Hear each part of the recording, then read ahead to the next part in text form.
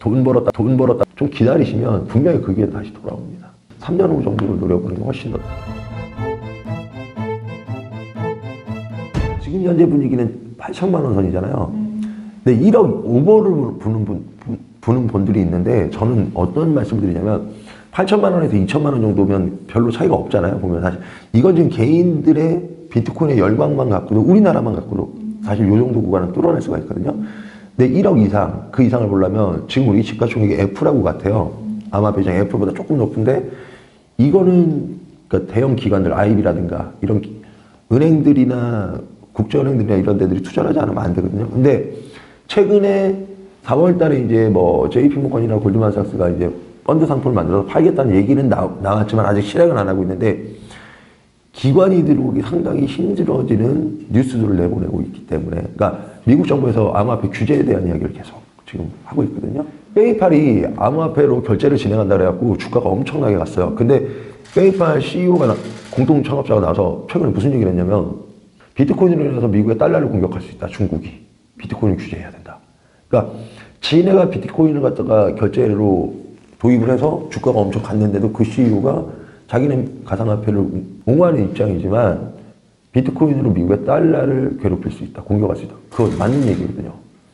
조지 소로스가 영란은행을 무너뜨린 게 환치기를 해서 무너뜨렸잖아요. 우리가 배웠을 때. 그리고 여- 홍콩에서는 두드러 맞았고.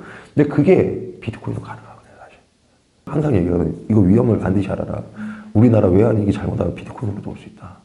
최근에 오늘 나온 뉴스 중에 뭐가 있냐면 은행 직원들끼리 주고받는 채팅방에 뭐라 나왔냐면 중국 사람들이 자꾸 외환을 갖다가 중국으로 송금을 하는데 이거 미치겠다 너무 많아서 해줘야 되는지 말아야 되는지 다른 은행 친구들한테 물어본 거예요. 영업점에 지침에 따르냐 본사에서 지침이 내려온 게 있냐? 이게 왜 그러냐면 비트코인이 지금 우리나라가 한국이 20% 정도 비쌌거든요 최근에. 그러면 중국에서 1억짜리 1억이라고 예를 들어서 비트코인에서 우리나라에 보내면 2천만 원의 차익이 남겨요. 그걸 우리나라 조선족 분들 통장으로 보내갖고 그거를 환전을 해서 중국으로 다시 보내거든요. 외환 반출이 돼요 이게 사실은. 2000, 2017년, 18년에도 우리나라 아- 알고 있어서 막은 거예요 사실. 이 부분이 사실 말, 말을 못하는 거죠 정부에서 대단히 위험한 부분이 마- 리스크한 부분이 말 못했는데 지금 만약에 이, 이렇게 판이 커지는 데서 한국이 시세보다 그때 60%까지 비쌌거든요. 만약 50% 60% 비싸버리면 대외적으로 해- 미국이나 이런 데서도 엄청나게 우리나라한테 비트코인이 들어와서 비트코인을 한국에서 매도하고 그게 원화로 환산이 되고 다시 달러나 위안으로 바뀌어 나가버리면 제가 지금 말한 젊은 친구들이 지금 신용위기에 놓여 있는 것 플러스 알파. 우리나라 정부는 외환에 또 수급에 문제가 생겨버리겠죠. 이런 일들은. 이런 것들이 복- 복합적으로 작용하면 상당히 사회적 파장에 우려가 돼가지고 최근에 우리나라 정부도 비트코인의 비유적인 발언을 사실 했어요. 그리고 이 비트코인으로 갖고 만약에 제도화하면, 그러니까 빨리 제도화해야 돼요. 정부는. 정말로 이걸로 외환이 부족한 걸 채울 수도 있지만 외환 위기를 맞을 수도 있는 정도의 우리나라는 펀더멘탈이 워낙에 큰데 복합적인 문제를 말씀드리는 거야. 비트코인 시장의 자산 유출만 갖고는 외환 위기가 오진 않는데 우리나라 젊은 친구들이 만약에 신용 위기에 몰리게 되면 우리 IMF 때 사실은 우리나라 기업들이 만기 연장을 안 해줘서 망한 거거든요. 만기 연장을 안 해준 이유는 기업의 문제는 사실 아니었어요. 기업들은 어땠냐면 수출을 해서 1년 있다 100억을 받아야 되는데 50억짜리 어음을 갖다 만기 연장을 미국에서 안 해줘요. 안 해주면 근거가 있어야 되는데 뭐냐면 한국의 국가 신용등급을 깎아버려요.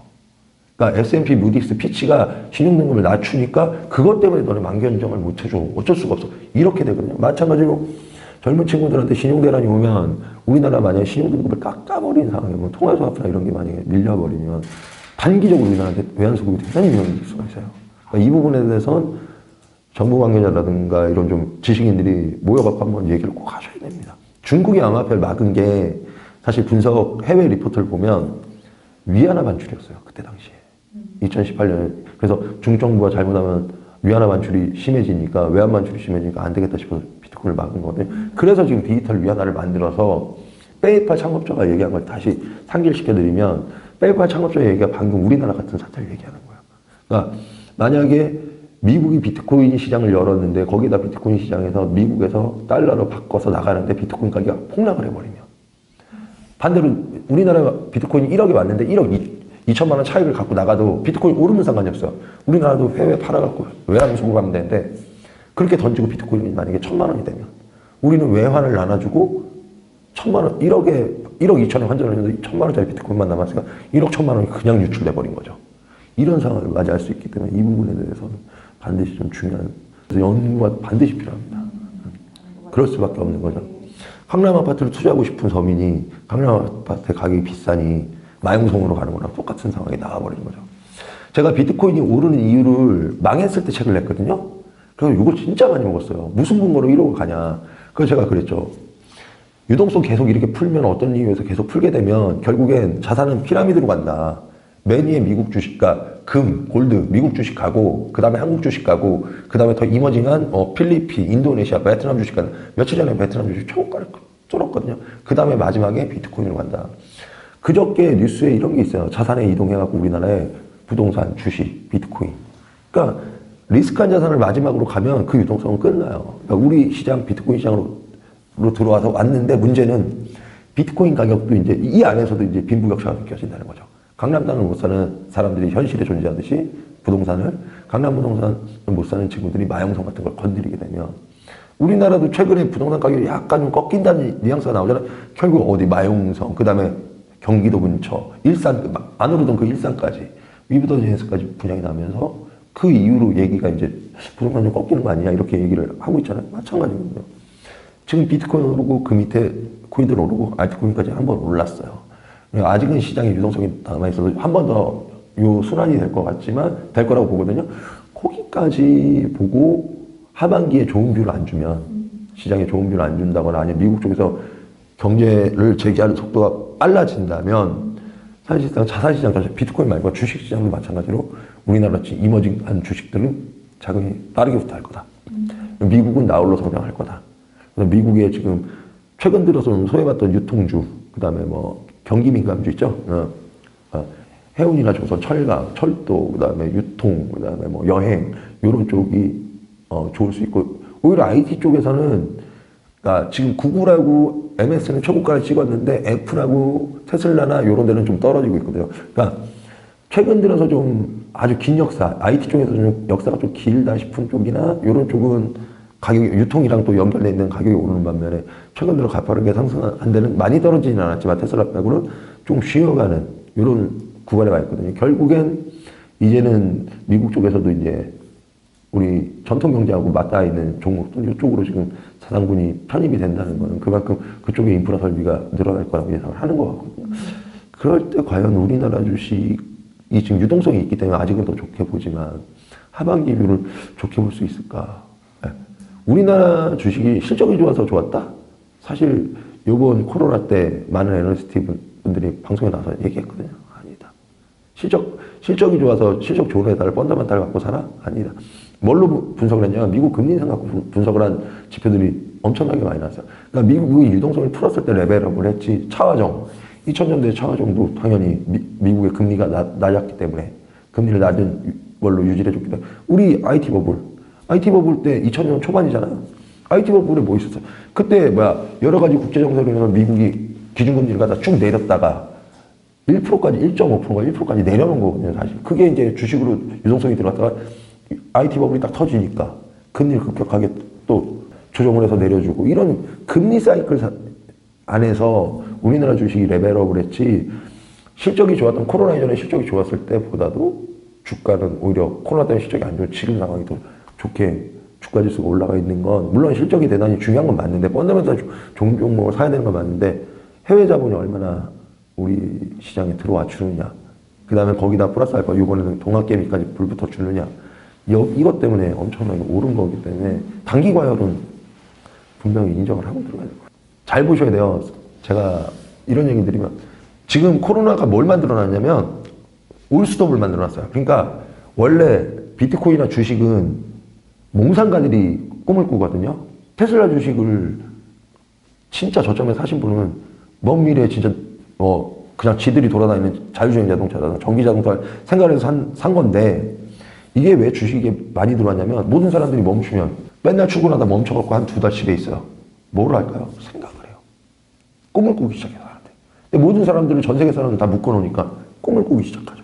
그러니까 그동안에는 바빠갖고 안 보던 거 아니면 상상을 많이 못했던 이런 쪽 갑자기 뭐 화성을 간다는 얘기도 요새 엄청 나오잖아요. 음, 돈나무 누나가 그 ETF 관련해서 상품만. 그런 얘기들이 사실은 쉽게 나올 수 있는 얘기들이 아닌데 그게 용인되는 세상이 돼버린 거죠. 코로나로 멈췄기 때문에.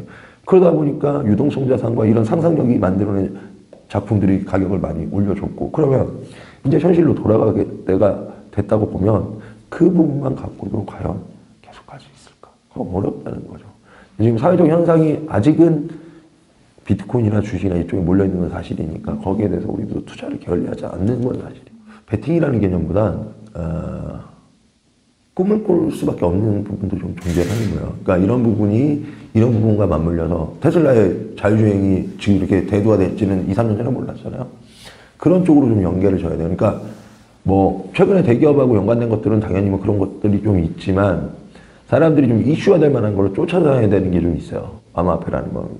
근데 결론적으로 암호화폐가 그런 부분에 초점을 맞추다 보면은 뉴스에 민감해지거든요. 그렇게 투자하면 성공을 못하고요. 계산적으로 좀 수학적으로 계산하면 간단한 게 있는데 우리나라 코스피하고 코스닥에 최근에 코스피만 보면 거래대금이 아마 1월 8일인가 44조 찍었다가 9조, 7조까지 내려갔어요. 하루 거래대금이. 반대로 업비트라는 거래소 하나만, 우리나라 거래소 하나만 기준으로 며칠 전에 25조를 넘었어요. 그러니까 코스피, 코스닥 합친 것보다 많아요, 이게. 그럼 계산을 해보자는 거죠. 코스피, 코스닥으로 합친 종목이 805종목, 2000몇 종목이에요. 두개 합쳐서. 근데 업비트 단일 거래소 하나에만 200 종목이 안 돼요. 그럼 간단하게 너무 오르지 않은 코인을 내가 사갖고 존버한다면 거래 대금은 2천 종목보다 훨씬 더 적은데 10분의 1분이 안 되죠.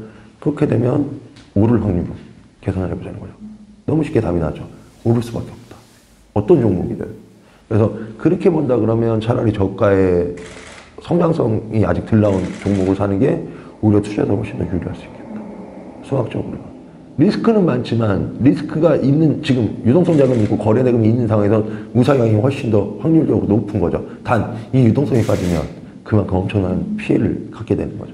주목할 만한 건 아직도 우리나라 대기업 프로젝트라고 맞닿아 있는 것들이 있거든요. 밀크나 보라 뭐 이런 것들 최근에 디카르고도 엄청나게 올라서 너무 많이 올라서 좀 위험은 한데 지금 조정이 들어가 있는 한국 코이 쪽에서 좀 대기업하고 연관성 있는 거, 그 정부 정책하고 좀 연관성 있는 것들을 보면 되는데, 네, 문제는 뭐냐면 한국 코인이 해외 상장이 안 돼 있어요.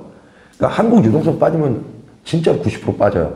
그러니까 지금 유동성이 있는 장세에서 두 달, 세 달, 이렇게 여러분들이 좀 수익을 볼, 자꾸 주식 하시는 분들도 그렇고, 비트코인 하시는 분들도 그렇고, 장기 투자를 얘기하는데, 장기 투자라는 건 내가 적정선에서 들어간 걸 장기 투자하는 거지. 지금처럼 버블 권역에 이미 많이 번 사람들이 들어가 있는 거를 위해서 장기 투자한다? 물론 비트코인은 가능합니다. 여기서 80%가 빠져도 여기서 또 세네 배는 갈 수 있는 여력이 4, 5년 묵혀둘 돈이 있으면 상관은 없는데 알트코인은 그렇지 않아요. 알트코인은 앞으로 이제 제도권에 들어가면서 지금까지는 규제를 안 했기 때문에 살아남은 코인들이 규제를 하면서 가이드에 못 들어간 코인들은 상패가 이제 계속 나올 거예요. 그럼 3년, 4년을 못 가져가는 종목이 나온다는 거죠. 단기적으로 수익을 보려고 한국 코인을 들어가신다면 단기적으로 생각하고 나오셔야 돼요. 근데 뭐 투자는 장기적으로 해야 된다 어쩐다 이런 얘기들이 언론 그 대단히 이게 어떻게 보면 기본 도식화돼 있잖아요. 그렇지 않아요. 그거는 시장이 미국 시장이라면 상관이 없어요. 그러니까 미국 시장은 주식이 망하면 미국이 망해요. 간단히 뭐 구조는 간단합니다. 국민연금이 그냥 주식으로 흘러 들어가는 구조이기 때문에 미국의 개인들의 노후가 다 주식에 연결돼 있어요. 근데 이 만약에 주식이 빠지면 미국 정부가 정, 그러니까 정권을 유지 못해요. 그래서 주식을 계속 부양을 하기 때문에 어쩔 수가 없는데 우리나라 같은 경우는 부동산이 망하면 문제가 되지 주식에 대해서는 미국처럼 그렇게 계속 오를 수는 없는 권역이거든요. 비트코인도 마찬가지거든요, 사실은. 그런 부분에 있어서 유동성이 있어서 돈을 벌려고 들어오시는 거는 인정을 하지만 이걸 지금부터 장기 투자로 가져간다? 그건 매우 위험한 생각이다, 오히려. 코인 투자는 무조건 다 주의해야 돼요. 예, 무조건 주의해야 되고 단 지표상으로 봤을 때 단기간에 오른 걸 갖다가 거의 대부분 사람들은 빨간불이 들어가니까 오르고 있는 건 사실거든요. 2, 3일 동안 연속하라고 하고 있는 종목을 차라리 찾아라.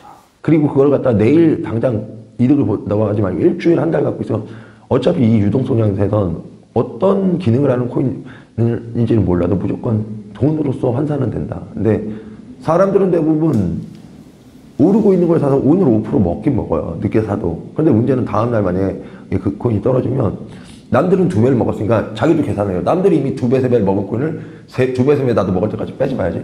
다음날 또 떨어지기 시작하죠. 그럼 손절을 해요. 근데 그게 또 턴이 암압은 되게 짧아요. 일주일만 있으면 또 자기가 판 거 이상으로 올라가거든요. 그리고 또 빨간불 오른 거 타갖고 또 5% 먹어요. 하면 먹긴 먹는데 다음날부터 또 하락하고요. 그러니까 그렇게 보지 말고 어떤 종목이든 2, 3일 이상 이상하게 많이 떨어졌다. 이런 종목이라면 조금 한번 봐서 어, 이 정도 정도 펀더멘탈이면 투자할 만하다. 옥석을 이렇게 가려진 다면 투자하시는 게 훨씬 더 유리합니다. 호재로 자- 작용할 수밖에 없죠. 왜냐면 암호화폐 거래소들의 상장은 걔네들의 자산 가치는 사실은 뭐 거래 대금도 있지만 암호화폐를 갖고 있는 거에 대한 자산 가치를 인정한 거나 같은 거거든요. 그러니까 비트코인의 성장을 인정했기 때문에 상장이 가능한 거고 주가 value 100조 원 정도 받았죠. 지금 100조를 넘게 지금 얘기를 하고 있는데 그렇다면 결국엔 비트코인 시장의 제도화라고 시장은 받아들일 수밖에 없겠죠. 그래서 그런 부분들 때문에 4월 달에 저는 1억을 찍을 거라고 지금 view를 드리고 있거든요. 그런 호재들이 지금 연결 고리가 있는데 며칠 전에 좀 빠졌어요, 많이. 많이 빠졌을 때도 아니다. 단, long view로 보는 게 맞고 단순히 한국은 근데 문제가 있어요. 한국은 빠지는데 해외는 올라요, 최- 최근에. 왜? 한국이 비싸기 때문에 그 가격을 내리니까 해외는 올라도 한국은 빠지는 것처럼 보여갖고 코린이들은 그게 시장이 하락인 줄 알고 매도를 해요. 외국이 오르는데 한국이 좀 빠진다고 4% 5% 빠졌거든요. 근데 그건 잘못 보시는. 시장을 전혀 못 보시는.